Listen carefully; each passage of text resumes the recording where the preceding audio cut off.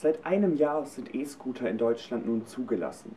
Mit Bird, Lime, Voi und Tier gibt es eine Vielzahl an Anbietern.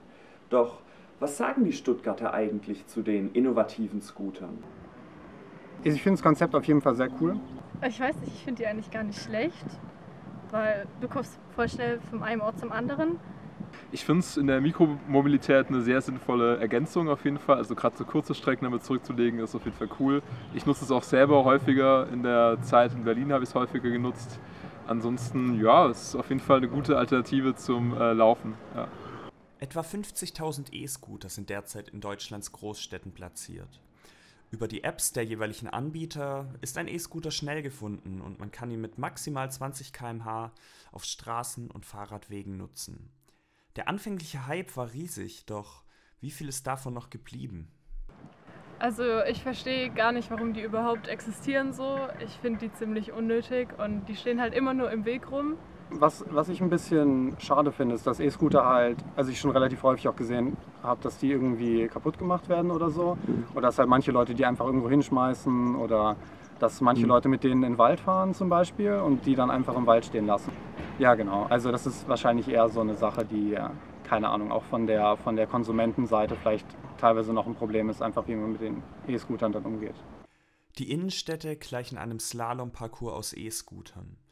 Viele werden falsch abgestellt, manche sogar einfach hingeschmissen.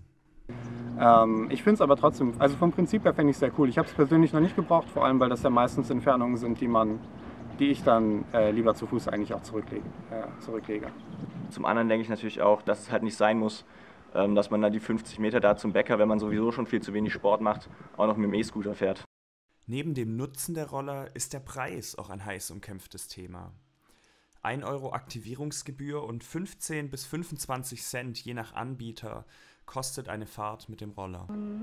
Ich würde das gerne nutzen, aber ich finde, das ist ein bisschen teuer.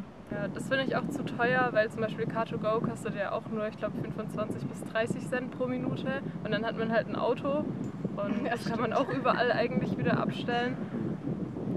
Das ist, glaube ich, ganz in Ordnung. Also ich habe viele Freifahrten gehabt damals bei Tier, also es war echt ganz entspannt, ja. Aber es ist in Ordnung, die Preise sind, glaube ich, ganz stabil. Die Meinungen zu E-Scootern gehen weit auseinander. Doch ob sie sich auch in den kommenden Jahren als Mobilitätsalternative durchsetzen können, bleibt abzuwarten.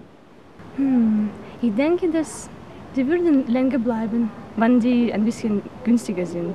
Ähm, ja, ich denke eher, es ist, es ist nur ein Hype. Ich denke, jeder kommt mit seinem Fahrrad von zu Hause ähm, voll klar, wenn man schnell wohin kommen möchte. Und das ist eher eine spontane, lustige Idee, wenn man jetzt irgendwie mal mit Freunden unterwegs ist und man sieht die Scooter und benutzt die halt. Aber ich denke nicht, dass es was wirklich ist, was sich sinnvoll langfristig irgendwie hält. Wenn so diese Hemmschwelle bei Leuten fällt, die die jetzt nicht so benutzen, also mhm. vielleicht Leute, die nicht so äh, technikaffin sind, dass das dem mir noch so ein bisschen einen Push halt gibt.